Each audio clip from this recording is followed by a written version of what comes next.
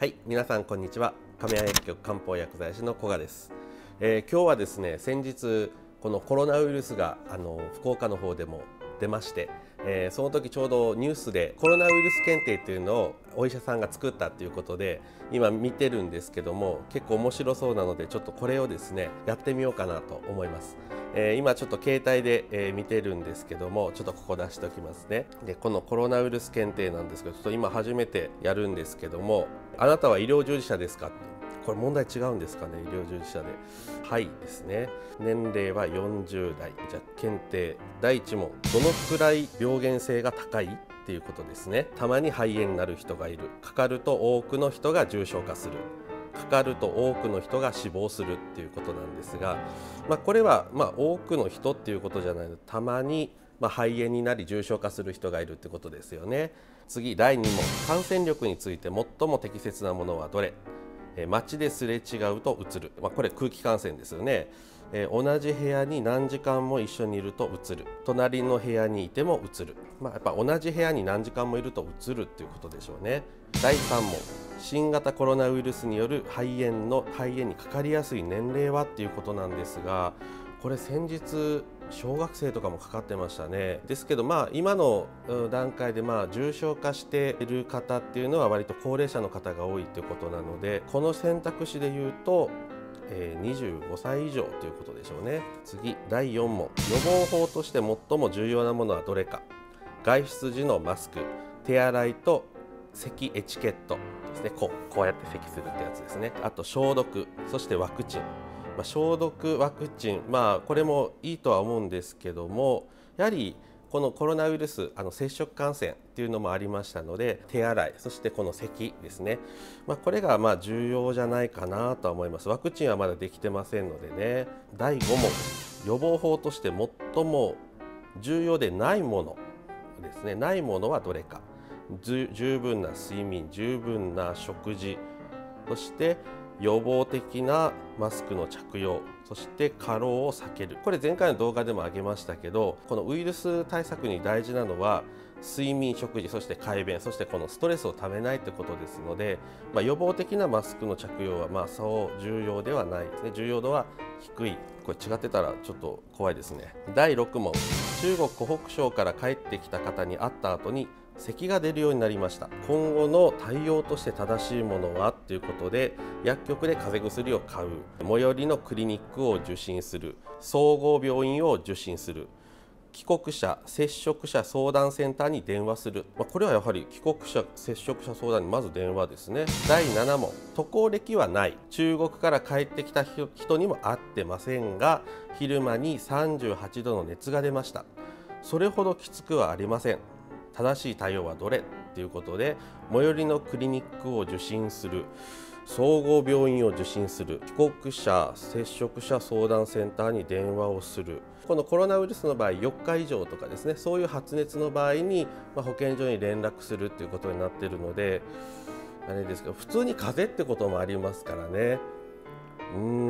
んそれほどきつくもありません。要するに咳とかそういう肺炎みたいな状態じゃないっていうことかもしれませんが、まあ、まずは近くの病院でちょっと判断を煽るっていうのも一つですね。次第8問新型コロナウイルスの検査について正しいものはどれか、えー、薬局で検査キットが、えー、診断キットが買える。これ買えないですね。近くのクリニックで検査をしてもらえる。まだ難しそうです。総合病院での検査これも難しくてあそうですね。この5番保健所に依頼しないと検査できない。まあ、これですね。まだ保健所に依頼しないと検査ができないのでなかなかあの病院の先生たちも苦労しているようですね。第9問。新型コロナウイルスの治療について正しいものはどれか特別な治療法はない。抗ウイルス薬を使用する。あとワクチンを打つっていうことですけどこれまだ特別な治療法がないんですよね。で第10問ですね。隣に外国の方が住んでいます。最近海外旅行はしていないようです。正しい対応はどれか、まあ、これはそうですね、えー、普段通り接する、まあ、なるべく会わないようにする、えー、会う時にはマスクを着用する。SNS に投稿する。これはちょっとねなかなかあの人権問題に発展しそうですけど、えー、まあ、これは普段から、えー、普段通り接して大丈夫だと思います。あ10問ですね。終わりました。そしてこれを送信ですね。5話の表示。あこれ解説がつくみたいですね、えー、フィードバックっていうことで、まあ、一番のたまに肺炎になる人がいるっていうことで、まあ、幸い現在のところ新型コロナウイルス感染はそれほど重症度が高くないのではないかと考えられていますということですね。ただこれもあの、まあ、日本人同士で今広がっているところで、まあ、どういうふうな対策になるかって今からあの分かってくると思いますけども、えー、感染力ですねこれも、ま距離にすると1メートルから2メートル以内でうつることがありますってことですが、まあ、エアロゾル感染というねことも言われてますけどちょっと普通の飛沫感染よりちょっと範囲が広いんじゃないかとも言われてますがまだ、まあ、この辺もですすれ違っただけでうつるようなことっていうのはまずない。分かりやすい年齢ですね、まあ、これは平均年齢その武漢での調査は49歳って書いてありますけどもこれはちょっとまた少し状況が変わってくる可能性もありますね。10代の方がかかったっていう報道が先日ありましたのでこの辺は変わってくる可能性もあります。で予防法ですね、まあ、これは手洗い。はこれ非常に大事みたい。マスクをつける時もですね結局そのついたもので触るとそこから感染してしまうっていうことがあるのでこの手洗いというのが大事あの大事っていうことですね、え、問い5ですね。まあ、これもま重要でないものっていうと、まあ、マスク、まあ、つけれたらつけれた方がいいよねっていう程度でもう手に入らない場合は今手作りしてる方もありますけど、まあ、いろんな対応でちょっとやっていただく湖北省から帰ってきた人はこれは相談センターに電話すると。今いろんなところにあのネットで調べるとあの番号が書いてありますんでね。そしてこの7問がちょっとあの悩んだんですけどあ、まあ、これですね。発熱が4日以上続く場合きつさ息苦しさですね。ない場合は近くの医療機関を受診してくださいと。ひどい時は、えー、自宅で安静にすると。まあ、そういう方であまりひどそうだったらですねこの相談センターに電話するのも一つじゃないかなとは思います。検査は保健所に依頼しないと検査できないということですね。で特別な治療がない。まあここがね皆さんがちょっと怖いなと思うところだと思うんですけども今の時点ではちょっと特別な治療法というのは特別ないですね。